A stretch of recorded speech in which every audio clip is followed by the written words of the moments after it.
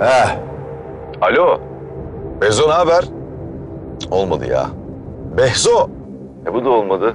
Ya ne berbat bir ismin var ya. Ne uzuyor ne kısa. Kısalıyor. Behzat berbat bir isim ya. Sen kimsin lan? Sesimi de mi unuttun? E tabii arayı açtık ya. Ercü. Bana Ercüment Bey dersen sevinirim. Yani öyle kısaltmalara tahammül edemiyorum. Ne oldu lan?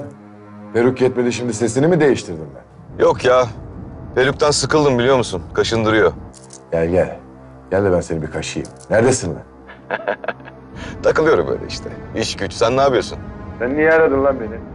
Ya sen bir görüntü peşindeymişsin. Öyle duydum. Bulabildin mi?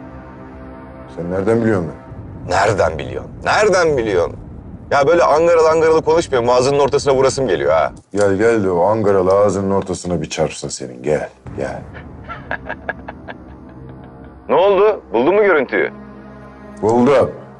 Galiba bir sıkıntı varmış görüntüde böyle atlama zıplama falan ha. Sen nereden biliyorsun? Ya seni merak ediyorum başkomiser ya. Vallahi endişeleniyorum senin için. Hani ne yapıyorsun, ne ediyorsun?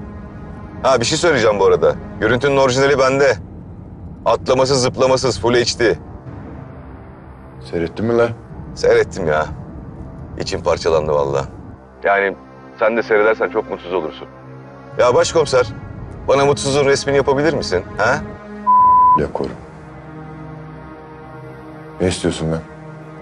Ya bir şey istemiyorum, görüntüleri vereceğim sana.